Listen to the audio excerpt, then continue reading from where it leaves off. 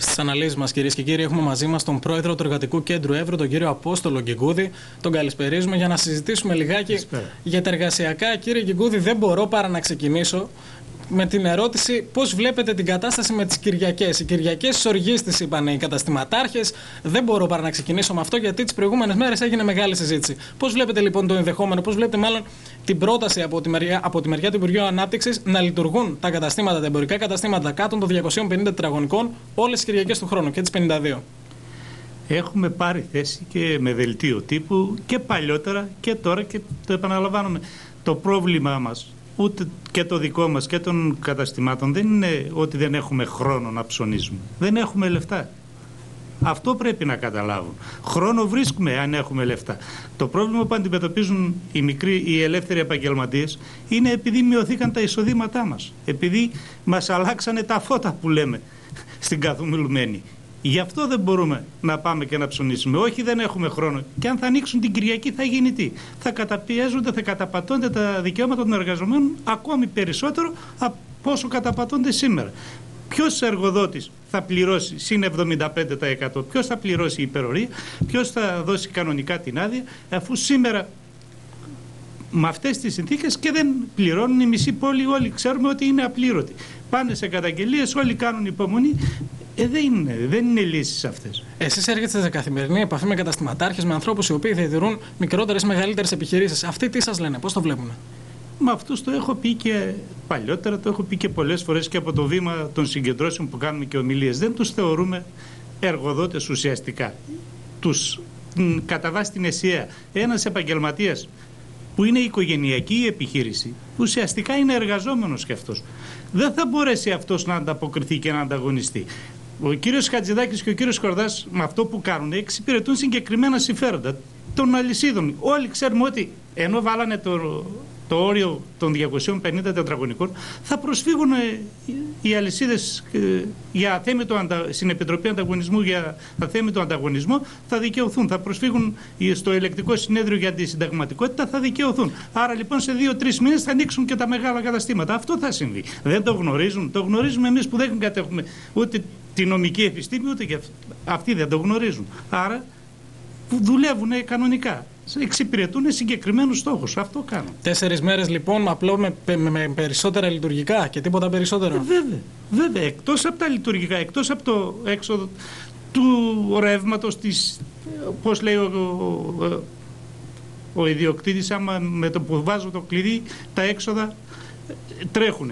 Συν ακόμη τέσσερις μέρες το μήνα επιπλέον έξοδα και προσθέστε και την, εάν έχει και υπάλληλο το 75% που πρέπει να πληρώσει συν στην αμοιβή του υπαλλήλου, επειδή θα εργάζεται Κυριακή, είναι εξαιρέσιμη. Άρα δεν θα έχει κανένα κέρδος ο μικρό ιδιοκτήτη.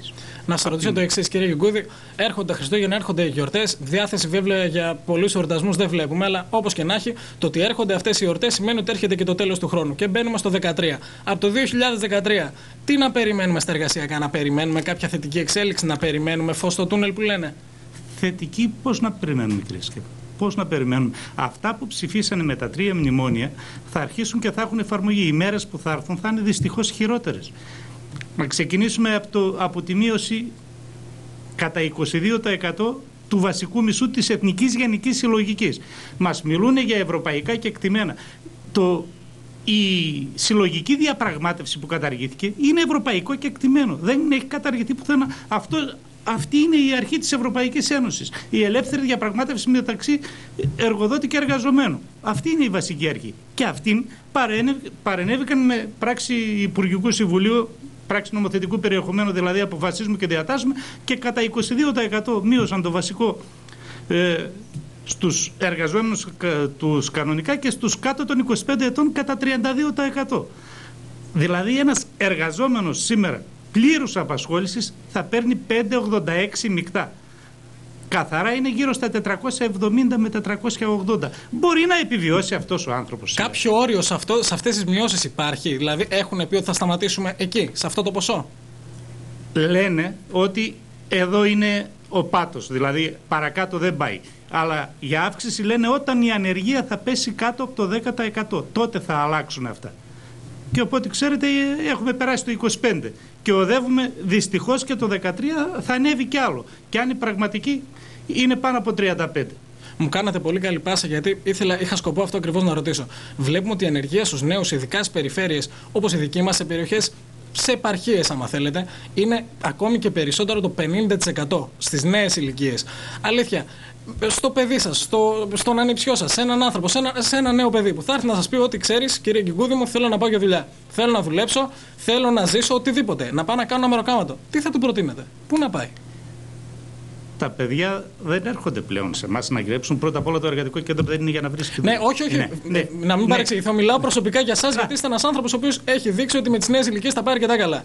Έρχεται ναι. ένας τέτοιος άνθρωπος και σας λέει: Πού να πάω, τι να κάνω; Έχω και παιδιά σε αυτή την ηλικία. Ο γιος μου τελειώνει φέτος στο πανεπιστήμιο. Τι θα του προτείνετε, το, τι, θα, τι θα του Δεν θα του προτείνω εγώ. Του κουβεντιάζουμε και μου λέει: Μπαμπά, θα φύγω θα κοιτάξω να φύγω προς τα έξω. Γιατί είναι αυτό που έλεγα, το είχα πει στην έκθεση πριν τρία χρόνια, στις, όταν μαζευόμαστε κάθε Σεπτέμβριο εκεί στις εκδηλώσεις.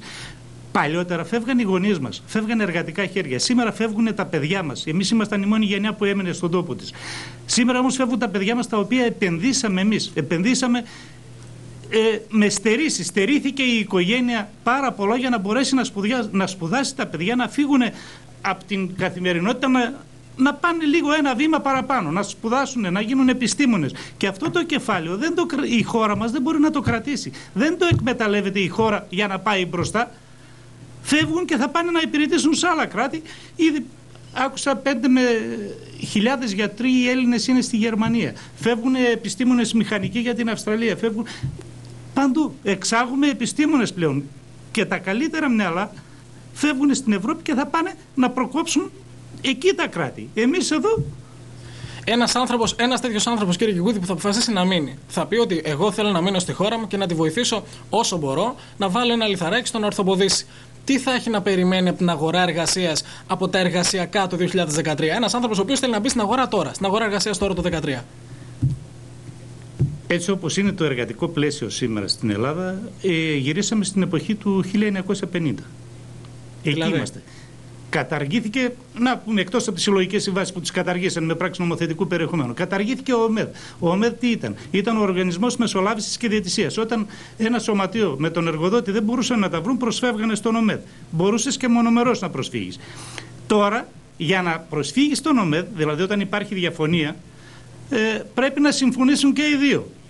Για να είναι και, η, και ξέρετε, η απόφαση του Οργανισμού Μεσολάβησης Διαιτησίας ήταν υποχρεωτική όταν προσέφευγαν. Τώρα όμως δεν θα πάει ο εργοδότης. Και γιατί να πάει εφόσον θα είναι υποχρεωτική η απόδοση. Εφόσον δεν πάει ο εργοδότης δεν μπορεί να προσφύγει και ο εργαζόμενος. Άρα πού γυρνάμε; Δηλαδή πριν την ίδρυση του ΟΜΕΔ. Κύριε Πρόεδρε, Ένα... να, να, να σας ρωτήσω το εξής, ναι. σας διακόπτω, αλλά έχει ενδιαφέρον νομίζω ναι. να το αναφέρουμε. Είπα, ε, βλέπουμε, διαβάζουμε συνεχώς και διαβάζαμε και πριν από λίγες ημέρες ότι η, κυβέρ, η κυβέρνηση προβλέπει ύφεση το 2013 στο 4,5%. Επειδή σε αυτή τη χώρα λίγο πολύ οικονομολόγοι έχουμε γίνει όλοι. Αλλά είναι καλό άνθρωποι όπως εσείς που ξέρουν να εξηγούν κάποια πράγματα. Τι σημαίνει αλήθεια ύφεση 4,5%, τι, τι έχουμε να περιμένουμε το 2013. Η ύφεση 4,5% σημαίνει ότι θα λιγοστέψουν τα έσοδα του κράτους. Δηλαδή, αν μαζεύαμε σήμερα ένα εκατομμύριο ευρώ, θα είναι μειωμένα κατά 4,5%. Αυτό όμως οι οικονομολόγοι το λένε ότι είναι θετικό γιατί φέτος είχαμε ξέρω εγώ 7,5% ύφεση. Οπότε του χρόνου θα πάμε στο 4,5% και μετά το 14% θα περάσουμε στο συν. Θα αρχίσουμε να έχουμε το πλεόνασμα που λέμε. Από το ΣΥΡΙΖΑ βέβαια μιλούν για μεγαλύτερο νούμερο. Για πολύ μεγαλύτερο. Κοιτάξτε, αυτά είναι και ξέρετε, τα νούμερα τα χρησιμοποιούν οι φορείς ανάλογα με το πώς τους βολεύουν. Εγώ ένα ξέρω μόνο και αυτό με απασχολεί ότι κάθε μονάδα ε, ύφεσης είναι 100.000 εργαζόμενοι ε, άνεργοι ακόμη. Συν. Προστίθεται δηλαδή η ύφεση προσθέτει ανέργους. Το νούμερο το 1,5 εκατομμύριο που περίπου είμαστε εκεί πέρα τώρα κειμενόμαστε, θα μεγαλώσει κι άλλο. Θα πιάσουμε τα 2 εκατομμύρια ανέργους. Τα όρια της φτώχειας έχουν ξεπεράσει, ζουν συνάδελφοί μας, γείτονές μας, συμπολίτες μας. 3 εκατομμύρια άνθρωποι ζουν κάτω από το όριο της φτώχειας. Αυτά όλα τι γίνεται με αυτά; Μαζεύονται, μαζεύονται, μαζεύονται αυτό που λέμε και περιμένουμε όλη την κοινωνική έκρηξη. Ο Έλληνας έχει κάνει πάρα πολύ μεγάλη υπομονή. Έχει ανεχτεί πολλά, έχει υπομείνει πολλά. Και αυτά όμως που γίνονται τώρα, άκουγα τον Υπουργό Οικονομικών έλεγε ότι αυτό το φορολογικό που κατεβάζουν τώρα δεν, ουσιαστικά είναι δημοσιονομικό. Το κύριο φορολογικό λέει θα κατατεθεί μέχρι τέλος Απριλίου. Δηλαδή, επειδή δεν μπορούν να μαζέψουν τη φοροδιαφυγή, την εισφοροδιαφυγή, την φοροαποφυγή, όπως θέλετε να το πείτε, υπάρχουν χίλιοι δύο τρόποι γιατί και τα διαδηλωμένα δεν τα μπορούν να τα εισπράξουν. Την ανικανότητα τη δικιά τους, τι κάνουν; Προσθέτουν φόρου στους, νόμ, στους νόμους μας, αυτούς που δηλώνουν. Σε ποιους δηλαδή, στο συνταξιούχο και στο μισθωτό, σε αυτούς που δεν μπορούν πλέον να τα κρύψουν. Ξανά πάλι αυτοί θα πληρώσουν. Ναι, αλλά ή ασταμάτα. Πιστεύετε ότι το φορολογικό νομοσχέδιο λοιπόν δεν θα, δεν θα έχει κανένα αντίκτυπο σε αυτούς που ήδη φοροδιαφεύγουν; Όχι βέβαια. Αυτό, αυτό που κατατίθεται τώρα, χθες προχθέ που κατατέθηκε, είναι μόνο για εισπρακτικού λόγους. Μόνο πάνε να πιάσουν τα νούμερα. Δεν τους ενδιαφέρει κανένα. Δεν, ακουμπάει πάλι εμάς. Επιβαρύνει τους δικούς μας φόρους. Εγώ πέρυσι πλήρωσα, παραδείγματος χάρη, 10.000 φόρους και φέτος θα πληρώσω 12